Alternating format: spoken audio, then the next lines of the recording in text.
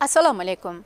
Ekranda ko'rganingiz bu ayol rossiyaning birinchi kanali muharriri marina ovsyannikova 14 mart kuni время dasturining jonli efiri payti boshlovchi rossiyaga qarshi xorijiy sanksiyalar haqida gapira boshlaganida marina kutilmaganda boshlovchining ortida paydo bo'ldi va urushni to'xtating.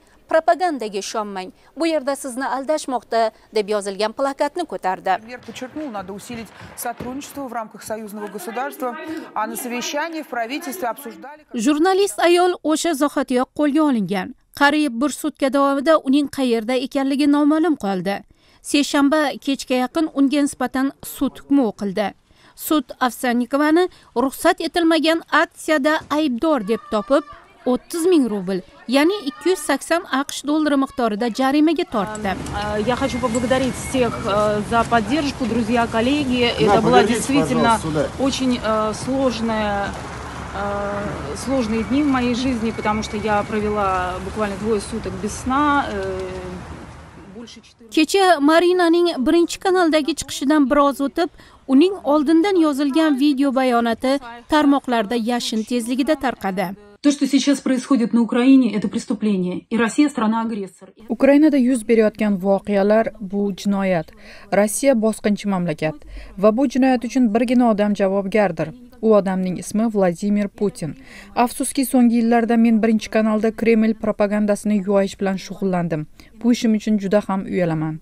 Televizor ekranidan yolg'on gapirishlarga yo'l qo'yib berganim uchun uyalib ketyapman. Rus kishilarini manqurtga aylantirishlarga qarab turganim uchun yuzim qora. 2014 yilda bu ishlar endi boshlangan paytda biz churq etmagandik. Kreml navalniyni zaharlaganda ham mitinglarga chiqmadik. Biz bu g'ayriinsoniy rejimni jimgina kuzatdik xolos.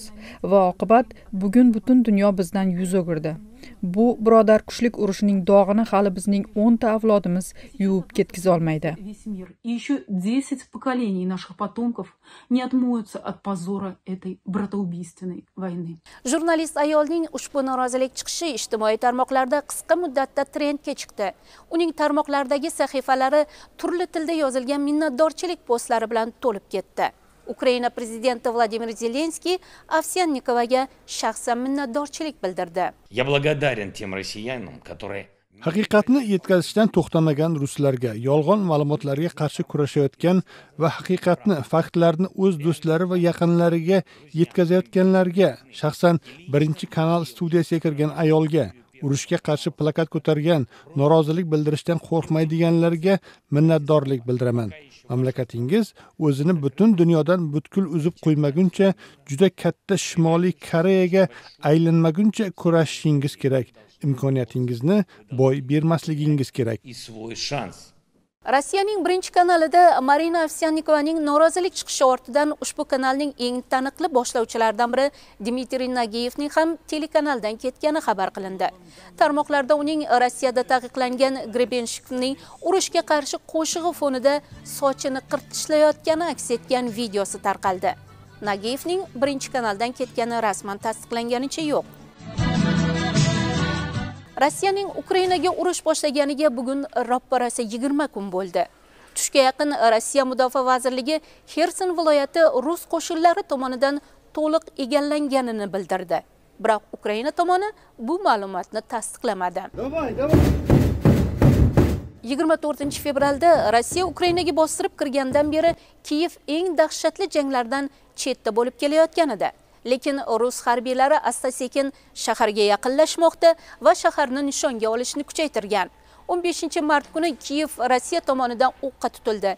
Kamida 2 kishi halok bo'lgan. Kiyevlik igor krupa yashaydigan uy ham raketa hujumiga uchradi biroq u tirik qoldi. Что происходит в Харькове, что происходит в других городах, в Мариуполе, и понятно, что... Портлашлар Харьковда, Мариуполда va boshqa shaharlarda sodir bo'lmoqda ertami kechmi bu kiyevda bo'lishi ham aniq edi barcha buyumlarimni ketishga tayyorlab qo'ygan edim. Men yotishimdan oldin boshimning ro'parasiga katta kreslo qo'ydim. Kreslo tepasiga esa bir nechta shtanga toshlarini joylashtirdim. Bu agar portlash bo'lsa boshimning tepasida ishonchli himoya bo'lishi uchun edi. Ehtimol aynan shu meni qutqarib qolgandir. Chunki barcha derazalar chilparchin bo'lib ketgan va vayrona qoldiqlari uyimga tushgan. Lekin mening bor yo'g'i bir nechta joyim tirnaldi deyarli zarar ko'rmadim. Umuman olganda bu voqea bo'lishini kutgandim lekin kutish boshqa va buni haqiqatda boshdan kechirish boshqa. Bu tamomila boshqacha.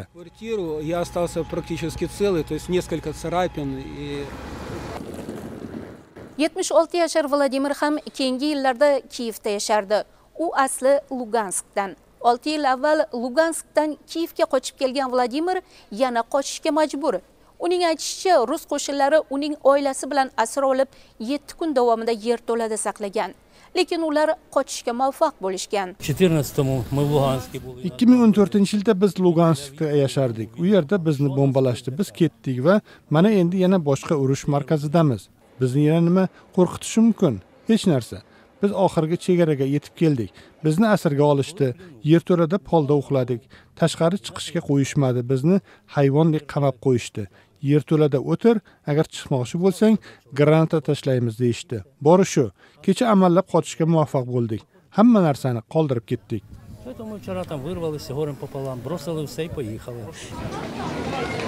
Hozir Vladimir oilasi bilan Polshaga qochmoqda.